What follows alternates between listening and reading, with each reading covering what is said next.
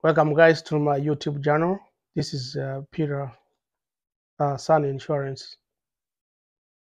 Uh, today, uh, those ones who have not subscribed or who have never written to my channel, I ask you kindly uh, consider subscribing when you look at this channel.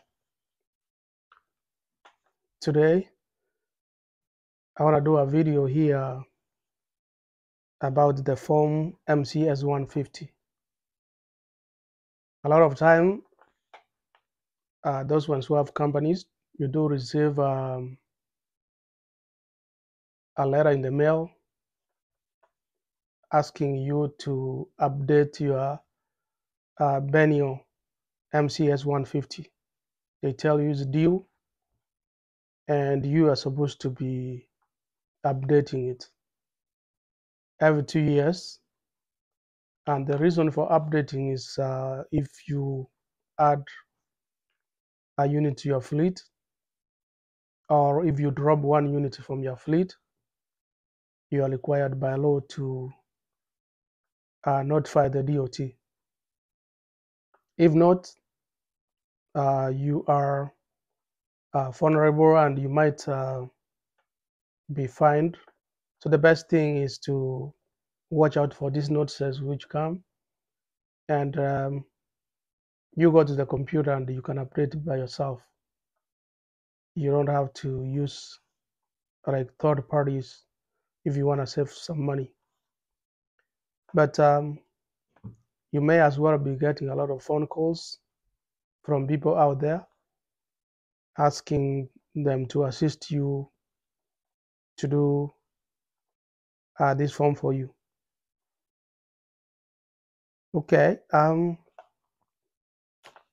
so the reason why you need to look out and, uh, for these forms is before beginning the operations. If there's a change in contact information like email address or telephone number or your actual address, you need to notify. Like I said, if you have a change in the uh, fleet, a number of uh, power units, trailers, drivers, and so on. So you need to notify a DOT.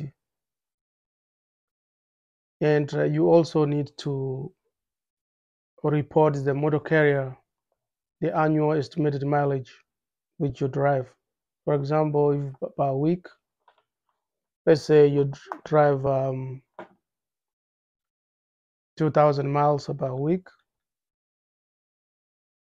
uh, so 2000 times 4, so you have 8,000 miles per month. And if you multiply that one for one year, 12 months, that would be 96,000. So you need to update that. So what I'm going to do today, I'm going to go to a computer and show you once you get this notice, uh, the link you are supposed to, to follow. I'm going to put the link below this video and kind of walk you through on how you're supposed to update this form on the computer. And once you are done, that's it. And you don't have to uh, pay any fee to do this. It's just only the information. And uh, so if you get somebody uh, giving you a call, saying they can do it for you for a fee, uh, you don't have necessary to use their service. You can do it yourself. So I hope this video is going to be helpful to you. And let me know, guys, what you think uh, below the video when uh, make sure you watch it from the start to the finish. The MCS 150. Um, so what you want to do is to go to this website, which I'm to put in the description side so you can get it handy. So make sure it is authentic. It's fmcsa.dot.gov. This is the, the link right here. And once you are in this page, you want to go to registration. Registration, scroll down to update my US DOT number right here. So when you arrive at this page, scroll down and you want to be in this area here, read and see where you belong. New additional registration because you already have a DOT number, you don't need to be at this uh, section. So move to the second one, continue out filing. Use your registration number and tracking identifier to continue filing with the registration. And uh, if you are an existing registration update where you want to be, you want to be at the first where you say what you need to do is I need to update my USDOT number registration information for our file a biennial, biennial update MCS 150. This is what we need to do. So you check mark there and scroll down. Scroll down and um, so once you are here, there's some of the information which you need to put handy to use in uh, completing this uh, uh, process. You will need your DOT number, which has all your company information, and then you will need a PIN number.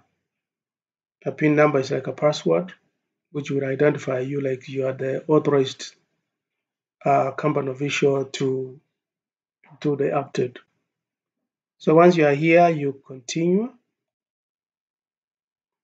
And uh, this is the area I was telling you about. You need a USDOT number and uh, a PIN number, which was, I believe it was sent in the mail, and you have it uh, somewhere in your office. But for some reasons, if you don't have one, you can request. Um, you can request a, a VIN number. And what you need to do is provide some information verification process before they send it to you. Uh, if you uh, you apply electronically, they will ask you a valid credit card number and there will be no charge for that it's for identification process so if you want to do that they say click yes if one of the following applies to you if you need a USDOT a personal identification number if your USDOT number has been compromised or if you forgot your USDOT number uh, PIN you click yes. But today we are not doing that. We assume we have our uh, PIN number and we want to file electronically. And once you are doing this process if you forget something don't use this uh, back button here for the uh, browser you have to use this one to go back to enter some information which you want to so we want to file electronically. So once you so you, you do file electronically, it brings you to this page. And for the purpose of this video, I am not going to add uh, an uh, real information. So I will use uh, a dummy information and uh, one, two, three, four, five, six, seven, eight, nine. So this is like a federal ID card, um, a federal number, tax ID, but I just uh, came out with a few numbers. So once you do this, you will uh, you will uh, say the company name AP APC, and then uh, CEO and once you are done going to have to click continue. And after that it's not going to allow me because I don't have real information. That's it. Then the next page you will update your information and you will be done from there. So that's all guys. Uh, in this video I hope you uh, looked at this video and I hope you find it helpful so um, give me thumbs up and subscribe to my channel share and uh, kindly turn on turn notification on every time I do a video like this. YouTube will tell, uh, automatically notify you. That's it. I hope I will see you in the next video. Thank you. Bye bye.